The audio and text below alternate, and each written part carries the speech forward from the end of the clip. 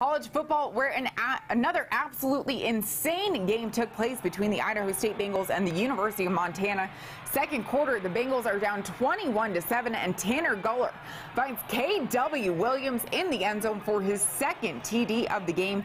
The extra kick is no good, so it's 21 13 Montana. Start of the fourth quarter, the Bengals are down 24 13 at this point, and Gueller finds Tyler Graves for the three yard touchdown pass.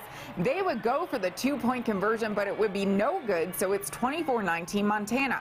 Later in the quarter, about 10 minutes to go, Gueller hands the ball off to DeCorey Ford, who literally finds a hole right up the middle and goes untouched. I mean, completely untouched for the 53-yard into the end zone, giving the Bengals a 27-24 lead after the two-point conversion.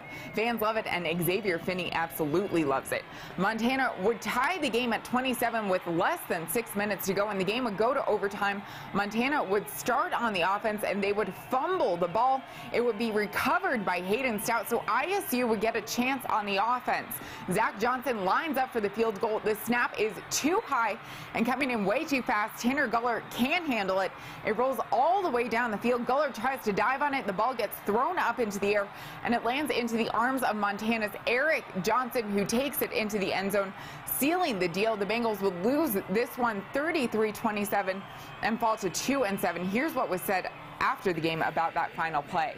We rock and fired it with about as much velocity as you can put on. I'm surprised we don't have a hole in the backside of the building. we didn't think it was going to be an issue with the kicker or with the with our snapper, but he's a pup and he's fired up and he's a great football player and he snapped a lot of good snaps for us. He's going to have a lot more in his career and uh, it's a shame it came down to him having to do that. We should have won the game. We didn't get enough production again in the third quarter. We went three and out, got a first down, then went three and out.